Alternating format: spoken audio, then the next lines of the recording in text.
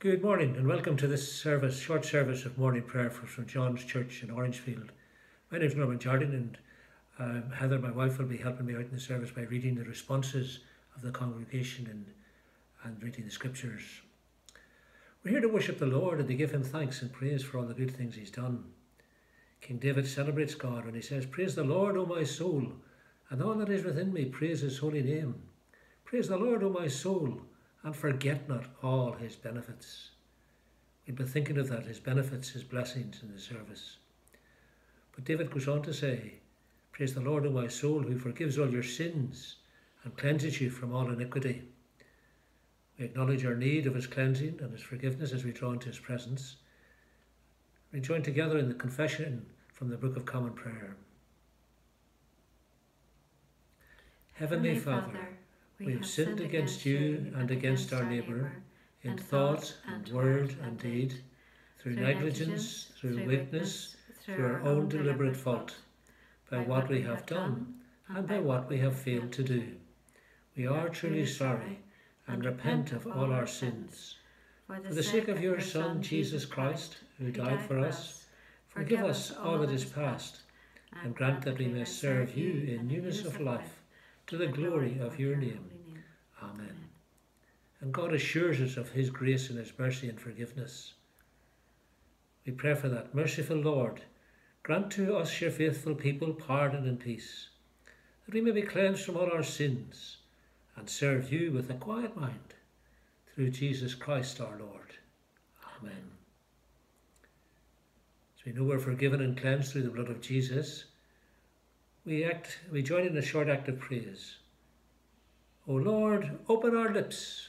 And our mouth will proclaim your praise. O God, make speed to save us. O Lord, make haste to help us. Glory to the Father, and to the Son, and to the Holy Spirit. As it was in the beginning, is now, and shall be forever. Amen. Praise the Lord. The Lord's name be praised. Heather and I are going to read a psalm together. It's Psalm 146. We're using the words of the English Standard Version, a psalm of praise. Praise the Lord. Praise the Lord, O my soul. I will praise the Lord as long as I live. I will sing praises to my God while I have my being. Put not your trust in princes, in a son of man in whom there is no salvation.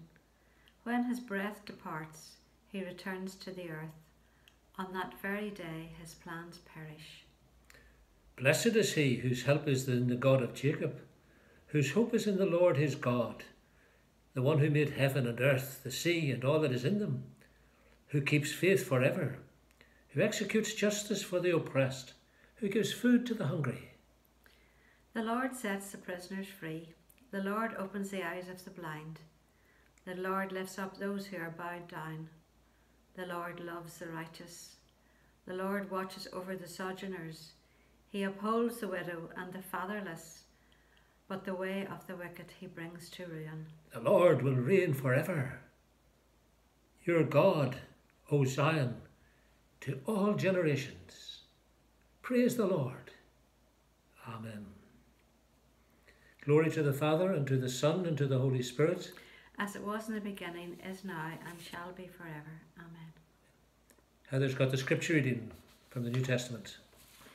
The reading is from Ephesians chapter 1, verses 3 to 10. Spiritual blessings in Christ. Blessed be the God and Father of our Lord Jesus Christ who has blessed us in Christ with every spiritual blessing in the heavenly places, even as he chose us in him before the foundation of the world, that we should be holy and blameless before him.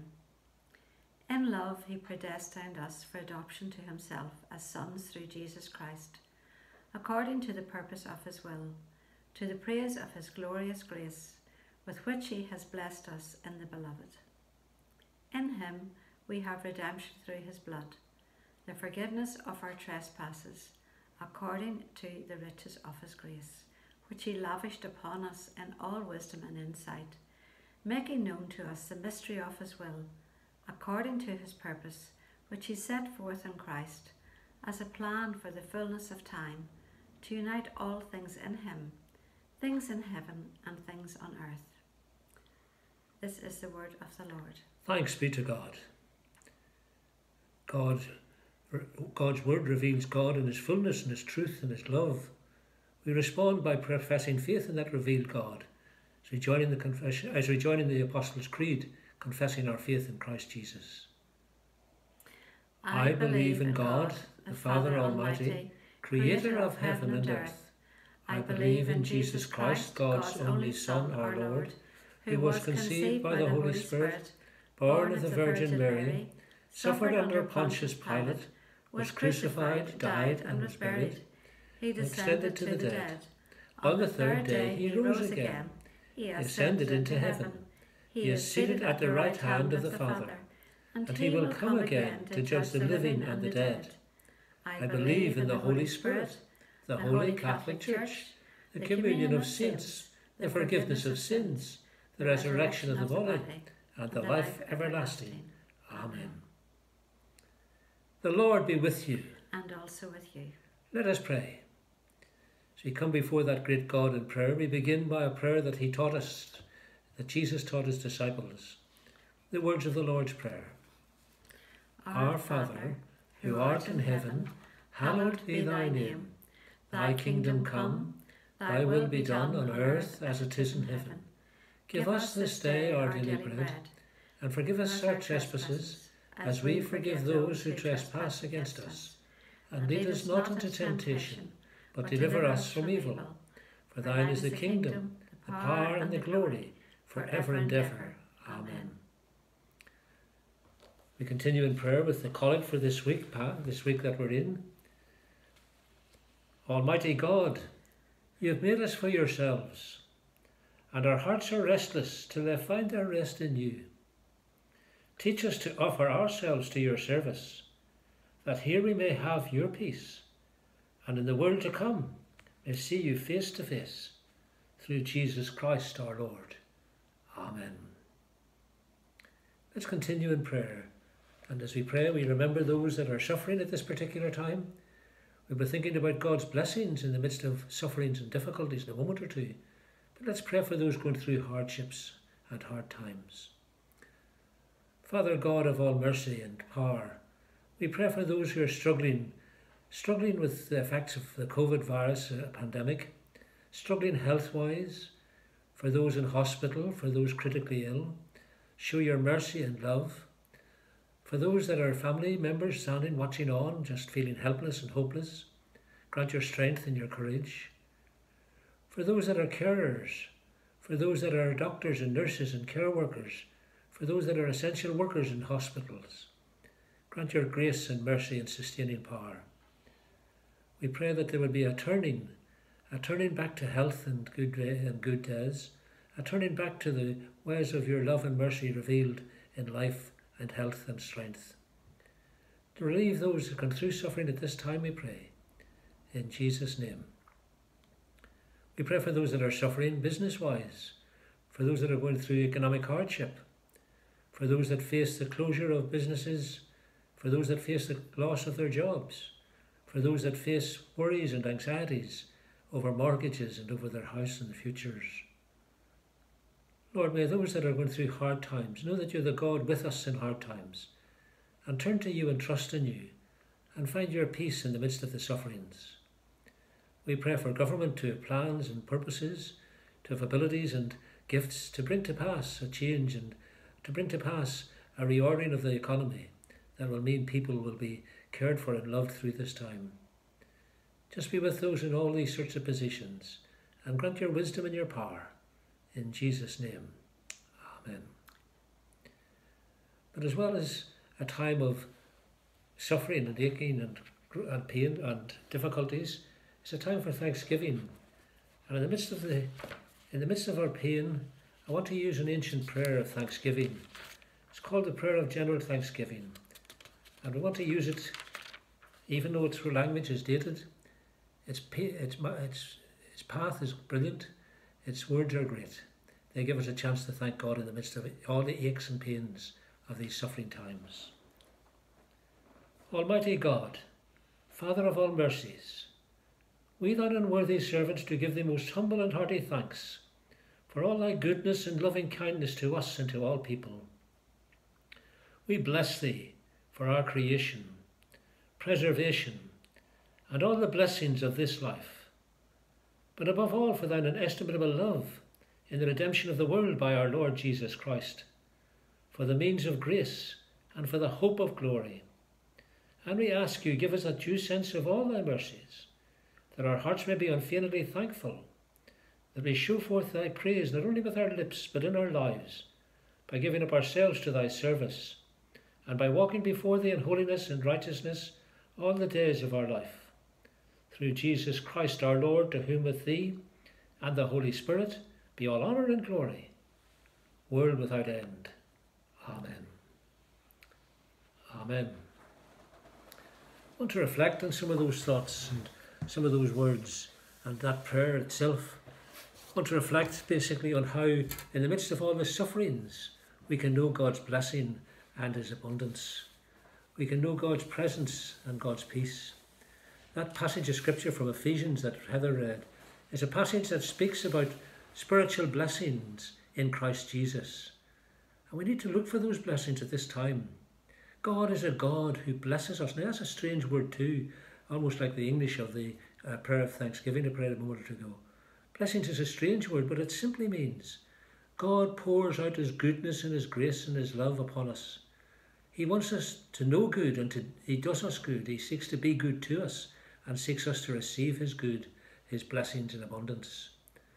Paul writes this Praise be to the Father, the God and Father of our Lord Jesus Christ, who has blessed us in the heavenly realms with every spiritual blessing in Christ. But yet, sometimes believers, not least anybody else, sometimes we believers fail to see what God has done for us in his blessings. Colleague of mine from some years back called John Berry told a story he was from Derby in England, and he told a story about seeing this old lady in Derby. He's seen her that often, he got to know her. She trooped around the streets of Derby town centre. She carried with her a shopping bag. It seemed to be that she had in that shopping bag all the possessions of her life. She had nowhere to live, she had no bed to lie on, she slept in the park benches and under the uh, arches of the railways. She just was a pauper, she just was someone who seemed lost and alone and uh, totally ill at ease in the world. John got a call from the local hospital, from the sister in the hospital, who he knew he was a member, she was a member of his congregation. And she said to John, Would he come up? Because this wee lady had come into hospital, this beggar lady had come into hospital. And John went up and he went into the ward where she'd been, and he looked all around, but he didn't see anybody that he recognised. And then he went into the sister's office and said, Is she not here? Is the, is the lady not here? She said, She's here all right. And the sister took him out and showed him the lady, and he didn't recognise her. She was all cleaned up. Her hair was done. Her clothes were changed. She was a different woman. But it wasn't to see her at that particular moment that the sister had called him in. She had another purpose in asking John to come in. She took John back into her office again and said, I need you to witness what I'm about to do. I need you to prepare to sign something here for me at the end of this. What she was prepared to do and what she did was she took the shopping bag and she just opened it up. And John was astonished because inside the shopping bag were pound notes, five pound notes, ten pound notes, twenty pound notes, a hundred pound notes. Bag was packed with money and all, with paper money of all currencies. There were thousands upon thousands of pounds in it. John was astonished, the sister was astonished, and then they just thought that this wee lady, who had gone around in poverty, who had gone around as a pauper, who had gone around without a friend, it seemed, in the world, nowhere to lay her head, had all the riches that she needed there in that very bag that she carried around. And the picture in the lesson is that Christians, believers in Jesus, let alone anybody else and everybody else, sometimes live like paupers as though we were scratching a living out of the dust and spiritual things. But God's not a God who treats his people like paupers. God's not a God who doesn't give us what we need. God gives us Jesus. And in giving us Jesus, he gives us all that we need All God's good gifts are wrapped up in Jesus. Jesus opens up a box of delights for us. And Paul reflects in that in this passage that Heather read from Ephesians chapter 3, uh, chapter 1, verse 3 onwards. That passage delights in God's gifts. For instance, listen to verse 7.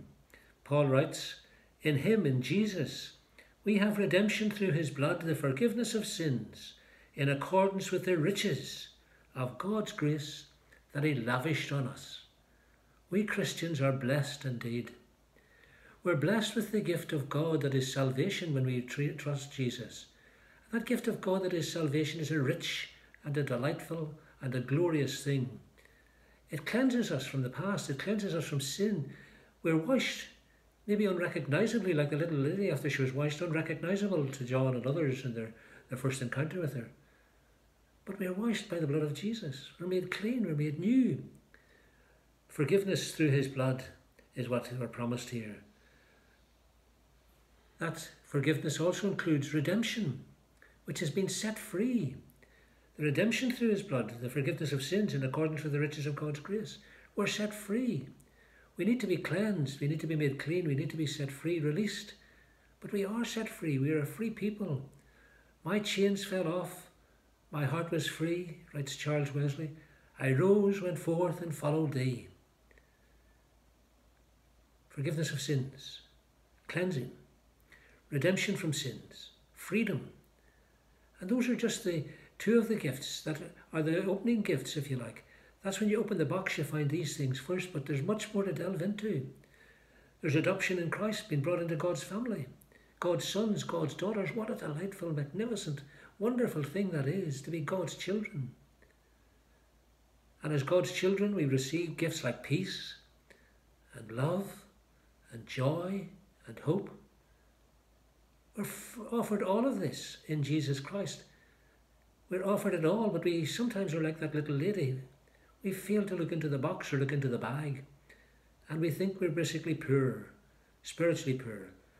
This is not about physical, this is not about actual poverty. This is not about material poverty. This is about spiritual poverty. This is not about spiritual rich. Uh, this is not about earthly riches. It's about spiritual riches. But the spiritual riches far surpass anything else that God that we can ex- expect, and God gives us to God gives it to us freely. We have got to delve into that box and take hold of those gifts and take hold of those things. Those are God's blessings. That's what the word blessing means. All those great, wonderful, good things that God gives us freely because of Jesus.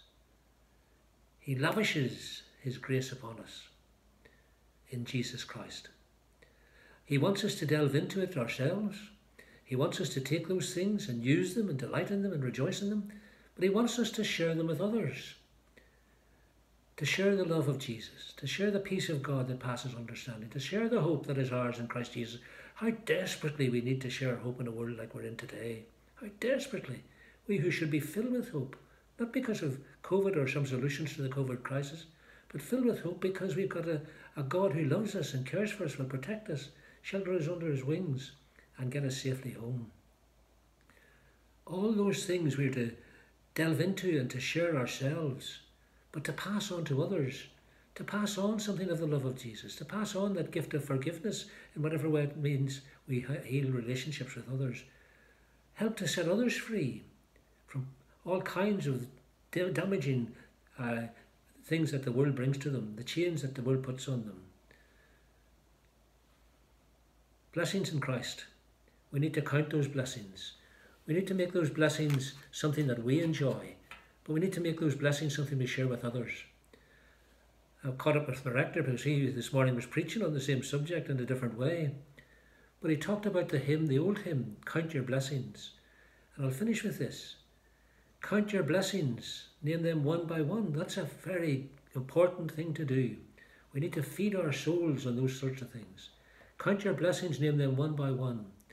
Count your blessings, see what God has done.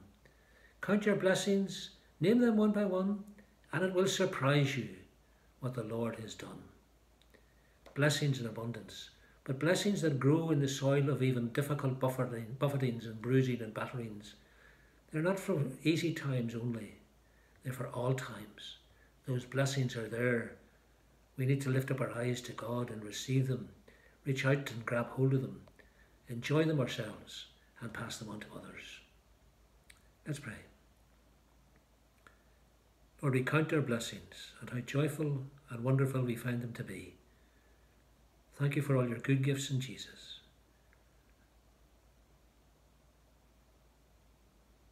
In Jesus' name, Amen. The Lord bless you and be with you, and make his countenance shine upon you, lift up his smile upon you, and give you his peace.